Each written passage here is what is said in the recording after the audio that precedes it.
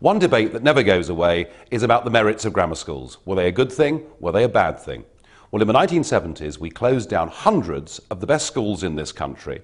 And we have a situation today where social mobility is lower than it's been at any point in the last 50 years. Indeed, the 7% of people who are lucky enough to go through the private school system now dominate absolutely every aspect of public life in this country.